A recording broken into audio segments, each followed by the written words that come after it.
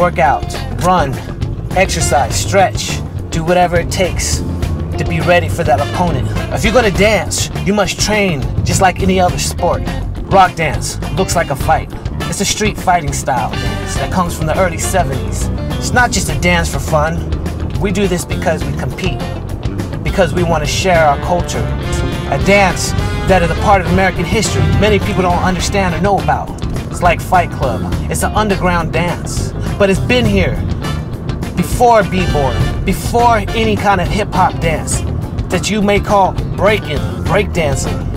Rock dance has been here since the early 70s. It started with the gangs of New York, imitating the way they would fight in the streets, burning each other, settle your frustration on the dance floor instead of fighting and getting killed in the streets.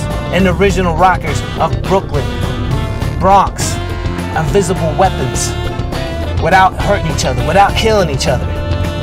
We call it burning, jerk, the original jerk. When I work out, I dance.